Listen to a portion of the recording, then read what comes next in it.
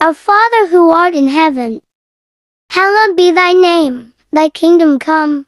Thy will be done, on earth as it is in heaven. Give us this day our daily bread, and forgive us our trespasses, as we forgive those who trespass against us.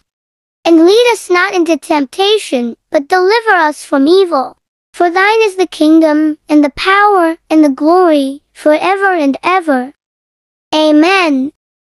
God bless you all.